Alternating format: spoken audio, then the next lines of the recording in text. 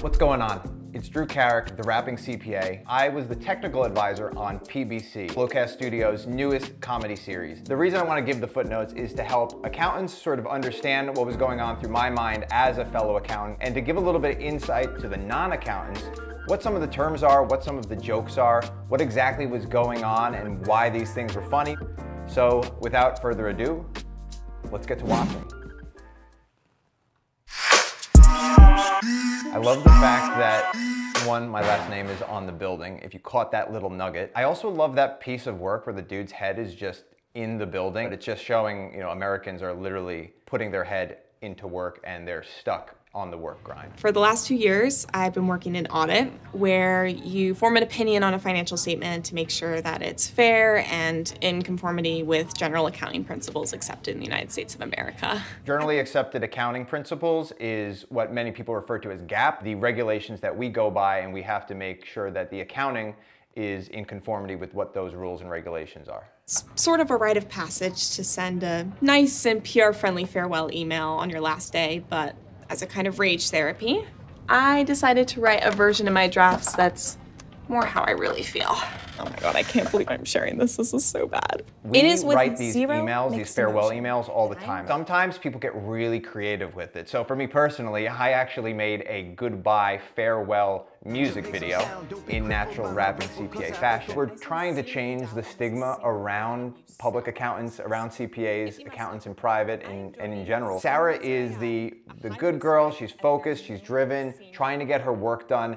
I just love this as the lead character because she is exactly what oh, you envision when it comes to a youthful, young, bright-spirited sort of CPA. Sorry. Did I just send that? No, no, no, no, no, no. So now here's the rough part about this. As she's leaving, she's leaving her laptop there, and that is like the biggest no-no in accounting period. Anybody that's worked in public knows that the number one rule you get during IT training is protect your laptop at all costs.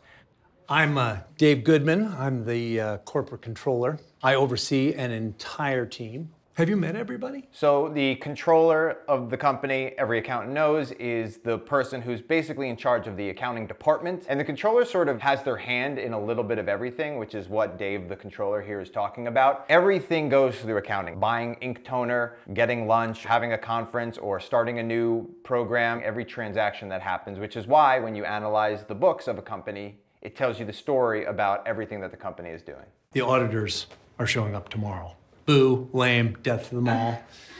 But I have a big first ask from you for the team. This is where I'm gonna be a little bit upset about Sarah because she's quitting her job in public right before busy season's about to start. It's just kind of a dick move. So she's kind of getting what she deserves in a sense. Now she's got to learn the accounting system really quickly. She has to be one of the liaisons with the auditors, provide them with the support, get them all the documentation that they need. Definitely a big first ask for her, but uh, she kind of asked for it. Also, her old team is probably pissed off at her because she was probably the senior on an engagement that she just totally left them high and dry for. Huh, go for Dave. You're, you're a prince abducted in Zaire. Oh my gosh, I'm so sorry to hear that. I get these phone calls all the time. I don't know how they get my phone number. I guess I plaster it online, so that's not really shocking. I really like when people actually mess with these scam artists and they send emails back and they really get them going. Uh, definitely a favorite pastime. I just set the over under on the water delivery at six jugs. Then this beautiful stranger walks in here with eight jugs. Eight. How am I supposed to do my job if he keeps doing this? I know you're with me. I know you're fucking with somebody, man. There's no way we ordered that much water. Oh, that's fun. A little office pool. What do you lose, 10 bucks? 10 G's, actually. Are accounts really gambling that much? Let me tell you, I have friends who are in public accounting, you know who you are, and they are obsessed with Vegas, obsessed with Atlantic City, bet on absolutely anything. Hunter being a relatable character, a thousand percent. Look, just do us all a favor and don't kick so much ass that you make the rest of us look stupid, okay? It's all about balance in accounting, you know what I mean? Well, I just try to be audit I can be. No. The accounting puns are probably one of the fan favorites when it comes to working in public accounting. When I started my like music group, called the Balance Sheet Boys. My rap name was Petty Cash. I had like a whole squad of people. We had two screens, DJ Accruals, we had Joey Assets. Shouldn't we check the IT department for the IT guy? What? Oh, no, no one is in there ever. You gotta like really find them. Every IT department I've worked with, it's always like a secret dungeon that they have to get to. Like you gotta go down the staircase through like the boiler room just to find the IT folks. Did you guys submit a ticket? It's her What's first day. Oh, shoot. You know the rules. We can't really do anything without a ticket. You need a ticket to get into the queue. Once you're in the queue, you get into the proprietary system, and then it's a first come, first serve once you're in the system. When we were working in public accounting, we would have these big files that we'd have to transfer. There was always some sort of issue going on, and you could spend hours a day just trying to deal with IT troubleshooting. And then, especially when they started to outsource IT, a lot of companies have been doing this. Then all of a sudden, it's impossible to get a hold of IT, period. IT, it's all about problems problem solving. My biggest problem is how can I do as little work as possible? At this point, I'm clocking in only seven minutes of actual work a day. Hold on, he is drinking a Capri Sun. I know so many people from IT who actually have side businesses and they know their job hands down, but they're kind of like spending half their time doing that and the other half the time they're like, well, I got no sort of issue, so I'm gonna work on my own sort of side projects. There's this notion that lazy people are actually how new inventions come about. Oh, I don't wanna sweep the floor. Boom, vacuums. I don't want to clean dishes. Oh, dishwasher. Lazy people are actually the best innovators we have. Get out of here. Stop it. Well, stop. That's Jessica. CFO. Hey! So what this kind of reminds me of is when you'd be like on Facebook or Twitter or not doing work and your boss kind of comes by and you quickly minimize your screen just to make it look like, no, no, no, you totally weren't just on the internet browsing something else. Uh, obviously they got caught outside not doing work, period, but I think we've all been there where we're like, oh, quick, let me minimize that screen. That way they don't realize that I'm not actually doing work. You didn't hear that from me though. Okay, I won't be there early, but I'll be there at six. Can't wait to see you in the fam. Sarah. Hi, Sarah. I've heard so much about you. I'm Tracy, the accounting manager. Thanks for finishing all that up. Uh, unfortunately, your coworker Hunter isn't very sufficient at his job, and he screwed up a journal entry, so I'm gonna need you to fix it for me.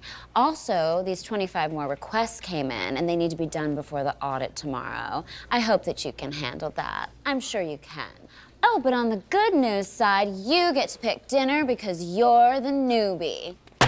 I felt that when I would show up to clients, they were rarely ever ready for the audit to actually begin. And I know my other CPA auditors out there know exactly what I'm talking about because you show up, the trial balance isn't even completely finished. They're like, yeah, we still have a couple moving parts. There's still some adjusting journal entries that we have to make. This is like very common practice. So for the client to actually be like, we need to get all the support ready for the audit. We need to have all the PBC requests ready to go when they show up. That would be an auditor's dream. But in reality, I feel like most of the time, time, that probably was not happening. I would usually spend the first week kind of just rolling forward notes in the audit file not actually doing any testing because most of the time it wasn't even ready for testing. We would show up at 8.30 in the morning ready to go and you'd see the client kind of rolling in at 9, 9.15, 9.30. They're chatting in the coffee room, they're taking a long lunch, they're heading out at 4.35. Everything is super relaxed. Meanwhile, we're there working till 6, 6.30, then during busy season, 8, 9 o'clock or, or even longer. Now Sarah's coming in, having that public experience, working with people who have never worked in public, and you see how she's very, let's get work done.